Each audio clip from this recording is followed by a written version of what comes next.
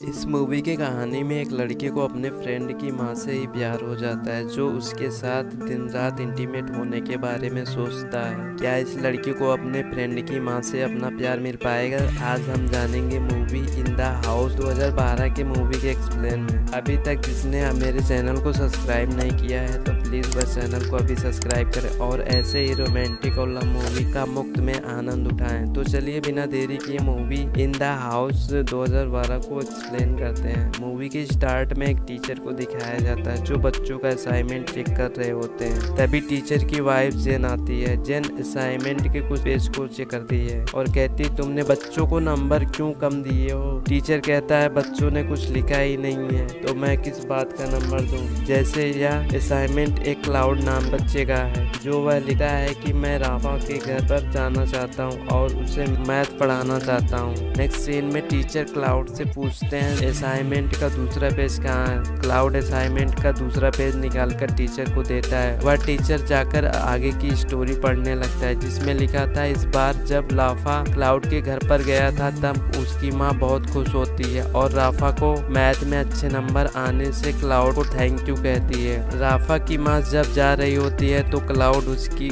माँ को बहुत ध्यान से देखता है। फिर दूसरे दिन जब राफा के घर पर क्लाउड गया था, तब उसके पाप घर पर रहकर मैच देख रहे होते हैं। तभी उनका फ़ोन आता है, वह फ़ोन से बात करने लगते हैं और वहाँ से चले जाते हैं। फिर क्लाउड सोचता है, अगर ऐसा ही चलता रहा तो मैं जल्द ही राफा की माँ के बहुत करीब आ जाऊँगा। दूसरे दिन जब क्लाउड राफा के घर पर गया था तो वह राफा को एक मुश्किल भरा सवाल देखकर वहाँ से राफा की माँ को देखने चला गया। राफा की माँ और उसके फादर दोनों आपस में लड़ रहे होते हैं। यह देखकर क्लाउड को बहुत अच्छा लगता है और थोड़ी देर बाद जब राफा की माँ बाहर आती है तो क्लाउड को देख लेती है। क्लाउड कहता है, मैं इस तस्वीर को देख रहा था। रात में जब राफा की माँ राफा के फादर को नया टीचर रखने के लिए कहते हैं तो क्लाउड यह बात सुन रहा होता है। जो वह बहुत टेंशन में आ जाता है क्योंकि अगर इस बार राफा के मैथ में नंबर अच्छे नहीं आएँगे तो क्लाउड को राफा को दोबारा नहीं पढ़ाने देंगे। इसके लिए क्लाउड अपने टीचर से मदद लेता है और वह कहता है, इस बार आपको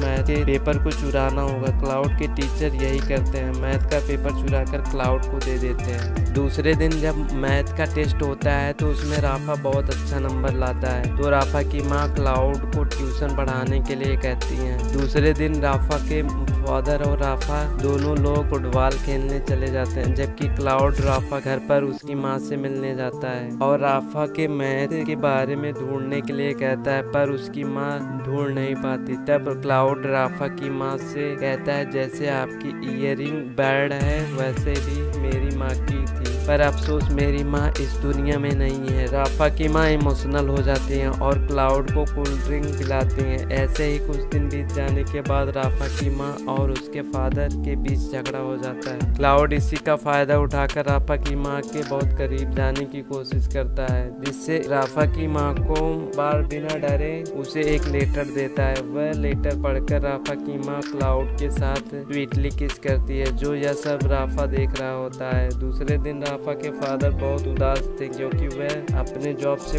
बहुत परेशान थे। तभी राफा की माँ आती है, वह कहती है, एक खुशखबरी है, मैं फिर से माँ बनने वाली हूँ। यह बात सुनकर राफा के फादर बहुत खुश होते हैं। वहाँ पर राफा आकर कहता है, अब से क्लाउड मेरे घर नहीं आएगा और आप लोग दूसरा टीचर ढूंढ लो। क्लाउड का लिखा लेटर उसकी माँ क्लाउड को वापस कर देती है और कहती है, अभी तुम मैं तुम्हारे साथ नहीं जा सकी। क्लाउड को यह बात सुनकर बहुत बुरा लगता है। वह टीचर के घर जाता है, पर टीचर घर पर नहीं होता तो उसके वाइफ के साथ इंटीमेट होता है। यह मूवी यहीं पर समाप्त हो जाती है। Thanks for watching